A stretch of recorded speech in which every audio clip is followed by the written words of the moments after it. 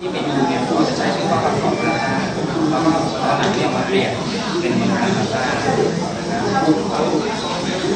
บอกว่าเขาจะมีสามแล้วก็มีคาร์บเน่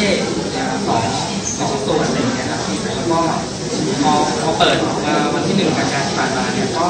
ไม่ได้มีไม่ได้มีตัวจีนมาเดินในในในตลาดเลยมีแต่เดินผ่านนะครับแล้วก็พวกเราก็ได้รวมตัวกันไป